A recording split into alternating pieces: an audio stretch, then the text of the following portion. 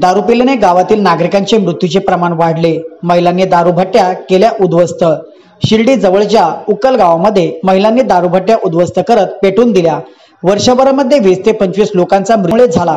उक्कल गावात दारूचे धंदे जोरात सुरू असून याची माहिती पोलिसांना देऊनही पोलीस याकडे दुर्लक्ष करत होते.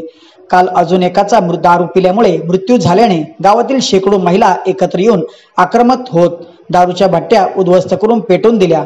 पोलीस दारू भट्ट्यावर कारवाई करत नसल्याने अखेर आज महिलांनी कायदा हातात घेऊन दारूभट्ट्या उद्ध्वस्त केल्या आहे